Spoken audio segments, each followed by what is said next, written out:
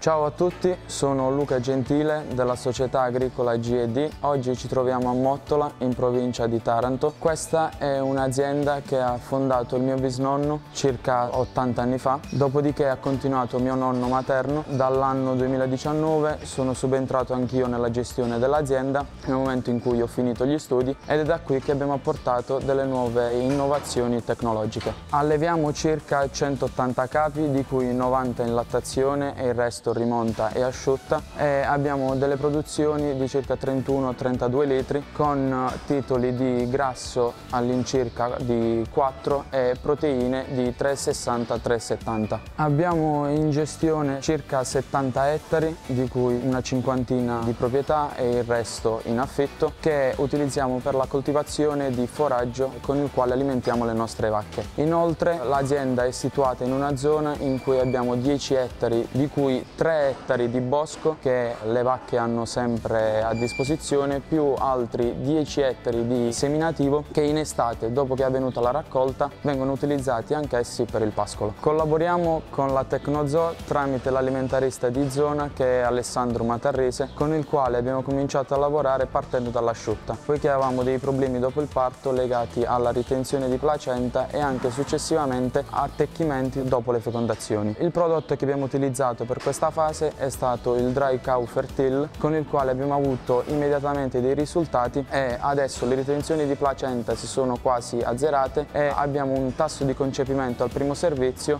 che è superiore al 40% quando in realtà prima era inferiore al 15%. Il prodotto che abbiamo utilizzato è il Tecno Complex Milk con il quale abbiamo avuto dei risultati, in particolare un aumento della produzione di circa 2 litri e una stabilità dei titoli di grasso e proteine anche nei periodi più caldi. Sono Alessandro Matarrise, alimentarista di zona della Tecnozoo. La collaborazione con l'azienda G&D è cominciata 8-9 mesi fa. Grazie alla loro fiducia, per la quale mi sento di ringraziarli profondamente, abbiamo iniziato a lavorare su un discorso di asciutta e abbiamo nel tempo migliorato sensibilmente i tassi di conception rate e di inseminazione al primo servizio. La collaborazione poi si è estesa anche al gruppo di lattazione e anche là, grazie sempre alla collaborazione al gioco di squadra, si sono raggiunti degli ottimi risultati in termini produttivi e riproduttivi. Ora i prossimi obiettivi sono lavorare